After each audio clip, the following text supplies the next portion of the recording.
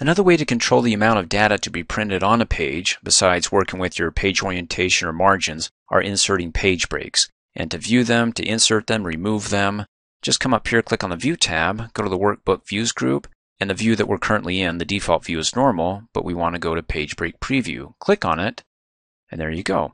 Wherever you see a dashed line, the vertical and horizontal, those are page breaks. And you can see the watermark, that's page 1, everything that's going to be printed on page 1. Then down below page 2, and then it goes up and over to the right with page 3. And you can't see the watermark because the area is smaller, so is the watermark. And then down to page 4. So what it's saying is that it can squeeze these many columns onto the first page, and the others that it can't will have to wait until after it takes care and addresses the first several columns. So when it goes to the next page, a continuation of the data for those columns, and it finishes it off, then it'll go ahead and go to the cutoff columns and put that on a page after it finishes with these, which is going to be page 3, and then work with that until it goes down to page 4 and it finishes those two last columns. Now you can work with your page breaks here if you want to move them around. For example, I want more space on page 1 than page 2. So in this example, you can see that it breaks right below number 46, Lance Boyle. If I want to break it above it, then go ahead and hover over the horizontal page break until you can see arrows pointing up and down. Click and drag it and move it above, and then it converts from a dashed line to a solid line. The dashed lines are the default page breaks for Excel. When I manipulate it and turns it to a solid, that means it's a page break that I modified. So I can tell the difference between the two. And that will come into play in just a minute. But right now, we now have Lance Boyle at the top of page 2 and not at the bottom of page 1. You want to verify that besides what you see in here? Okay.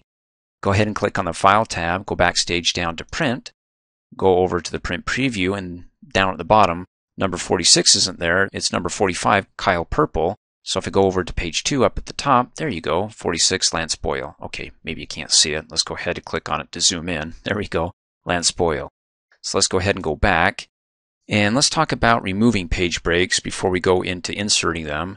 And to remove them, you can do it one of a couple of ways. If it's a default page break, one that Excel has set up, then the only way to remove it is by hovering over it until you can see arrows pointing in opposite directions, and then you can click and drag it all the way over to the right until it disappears. But the problem with that, let me come up here and click on the Page Layout tab, go to the Scale Fit group, is that it shrinks the font so it can fit everything as you can see, onto one page by not cutting off the last two columns as we saw before we removed that vertical page break. So now the data is 81% of its original size, it's a lot smaller. And then another way to remove a page break, if it's one that you modified or manipulated or inserted, if it's a solid line, is instead of clicking and dragging it off, is that you can actually click below that line if it's horizontal or to the right of it if it's vertical. So since it's horizontal, and instead of clicking and dragging it off, you can come up here, click on the Page Layout tab, go to the Page Setup group, click on Breaks, and select Remove. Now when you do that, it adjusts it here, and it goes to the default that Excel has set up to adjust to the scale to fit 81%. So it didn't remove it completely, it just removed your modification of it when we moved it up one to put Lance Boyle at the top of page 2. So if I want to remove Excel's page break, the one that's dashed, I can't do it this way by clicking below it and coming up here and clicking on breaks to remove it. It won't work. I have to click and drag it off completely in order for it to accept it. But if it's a solid line, one again that I modified or inserted, then I can go ahead and use it. But for me, it's just easier to click and drag than to come up here and click on it once to go down to remove it. Okay, so right now, to fit everything, it looks like onto one page, the font is shrunk down to 70% of normal size. Let's go ahead and see what it looks like before we print it off by going to the print preview, click on file, go down to print, and then go ahead and click to zoom in. Ugh, that was zoomed in. Ugh. Let's go ahead and click on it to zoom in and ooh, that's pretty tiny. Gonna need a magnifying glass to be able to read that. I mean, it's somewhat legible here, but I don't like squinting to that size of font. So if you want to go ahead and change it back, you can do it within the print preview. There it is, custom scaling. Click on it, go down to custom scaling options opens up the page setup window, which by the way, you can close out of that, just click on page setup. Opens up the same window, and on the page tab, you can see that it's been adjusted to 70% of normal size. In here, you can go ahead and type in 100 to get it back up to normal size and click okie dokie, in which case it adds the page breaks because it can't fit everything onto one page at that size. So instead of page 1, we go to page 2, page 3. In any case, let's go back to our page break preview and you can see we're back to where we started with the Excel page breaks that it put in, the horizontal and vertical with our quadrants 1, 2, 3, and 4, representing the different pages. Now let's go ahead and change the orientation up here in the page setup group from portrait to landscape. And because we have more width in our pages, it fits all the columns and the only breaks we get is, well, just below James Dean. So we have less space vertically, but more space horizontally, and it can print out on two pages now. Now let's say that I want to go ahead and adjust this so I have maybe on page 1 that amount of data, page 2 here, and then add another page break to have a third page for this amount of data. So to do this, I can go ahead and click and drag that up and insert another page break. But you want to keep in mind that to insert a page break, if you want to insert one right there horizontally, that whatever cell you have selected, that when you insert it, is going to insert a break above and to the left of it. So that means it's going to insert both a horizontal and a vertical break. To make sure you don't insert a vertical break, if you just want a horizontal one, then you want to go over to the far left-hand column. So when you insert it, it inserts it above it, but is there anywhere it can go to the left-hand side? No, because there's not a column, so that's how you get your horizontal without getting a vertical. For example, let me go ahead and select the cell right here and come up on the Page Layout tab, Page Setup Group, Breaks to Insert Page Break, and ooh, that's pretty crazy, see? It inserted a break above and to the left, my horizontal and vertical page breaks of that cell that I had selected. So let's go ahead and undo that and click and drag that guy up and then come down here and insert a break a horizontal break, so I got to be in the leftmost cell or the first column to insert a horizontal break and come up here, breaks, to insert page break, and cool. And then if I want to go ahead and insert a vertical break, you want to come up here where I don't want to insert a vertical and a horizontal break, then you want to be in the topmost cell. But the problem with that is that, well, you see that's a merged cell. And so I can't, like if I want to insert a vertical break in cell H1, so it's just to the left of it, because if I come down here and select that cell, it'll be to the left of it, but above it will be inserted horizontal.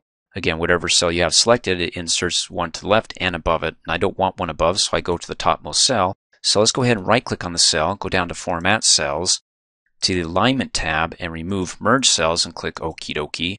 And oh, the alignment for A1 is now centered. Let's go to the Home tab and say we want to align it to left so I can see the name Dreamforce.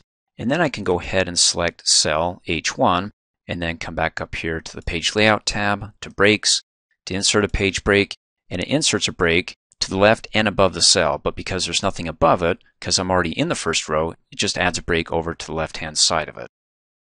Now not only can you insert and remove page breaks in the page break preview you can also do it in the normal view but I prefer it here because you can really tell where the page breaks are. So to do that just come up here click on the view tab Go to the Workbook Views group and change it from page break to normal. And in fact, you can see that break coming down in between columns G and H. All you have to do is go ahead and click on the right-hand side of the vertical break, and then come up here, click on the Page Layout tab, go to the Page Setup group, click on Breaks, and remove it, and it's gone. But over here, we get the dashed line. The solid line there was my page break that I worked with, that I inserted or manipulated. For example, that dashed line, when I go back to the page break preview, is going to be Excel's way of saying, okay, in page orientation, you can fit a few more columns. But if I click and drag that out and manipulate its default, it'll turn from a dashed line to a solid line. So in other words, you can tell the difference between your page breaks and Excel's. Excel's are dashed, your page breaks are going to be a solid line. And then by the same token, you can also insert a page break. Again, you want to be mindful of what cell you have selected because it'll insert a break above and to the left of the cell. So both a horizontal and a vertical, unless of course you get right up and hug the top row to insert just a vertical or hug the leftmost column to insert just a horizontal. So if I come over here and say breaks to insert page break, I don't know if you can see it, but I've got a break, a vertical one right here to the left of it, and above it, right there, the horizontal. So let's go ahead and undo that or remove it, and then go up at the top so we can just insert a page break, a vertical one to the left of the cell by breaks to insert page breaks and I just get the vertical one because there's nothing above that cell so there's no horizontal. Ooh, this is going to be fun. Let's go ahead and take a look. File, down to print, preview. Let me click on it to zoom out. There's page one, two, three, and four, 5, and 6. Well, nonetheless, you get the point. Now, with all those page breaks that I added, if you want extra space for those pages, maybe when you print them off, you can analyze some data like on page 2. Then you can have in your meeting people make comments below here, but make sure if you don't see the labels for each of your columns, the titles, or for your rows, you can watch my print titles training video. Thanks for watching. Hey, as a quick reminder, if you like my video, please give it a thumbs up. You can also click on me and subscribe to my channel, get notified of the latest videos, and for only $2 a month, you can have access to all my Microsoft Office training videos.